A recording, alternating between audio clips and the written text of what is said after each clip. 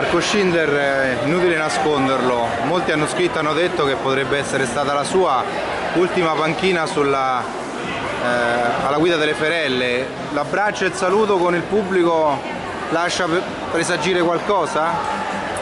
Sicuramente non è eh, un momento facile per me dal punto di vista personale con la società. E stasera ho una riunione con la società, diciamo che è difficile che io possa rimanere.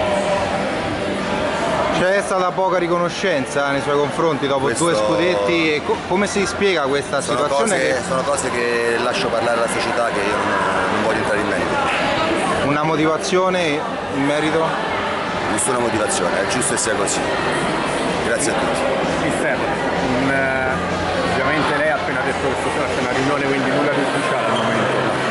In compenso oggi l'abbraccio, l'affetto della tifoseria, anche delle calcettiste. Devo dire che in tre anni qualcosa ho lasciato Oltre agli scudetti. Oltre che agli scudetti, ai due scudetti della Supercoppa italiana, forse ho lasciato una parte di me qua e, e il mio modo di fare, il modo di essere probabilmente ha portato i suoi frutti perché se questa è la risposta credo che... Ci sono altre logiche che vigono nel calcio a 5? Nello sport soprattutto. Grazie a tutti. Grazie a tutti.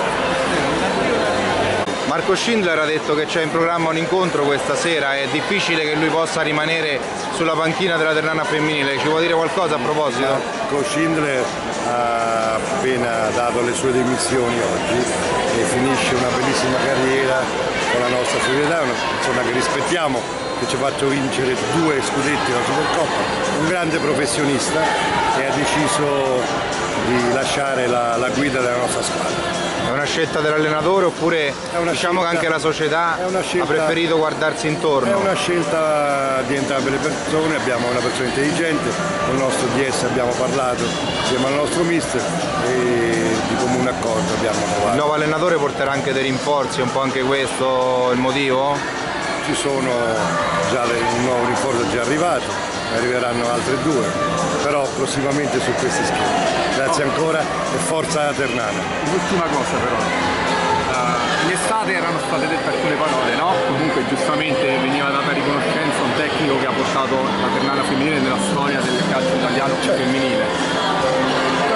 Quando è nata, se c'è stata una frattura tra le parti? Quali... No, non c'è stata nessuna frattura.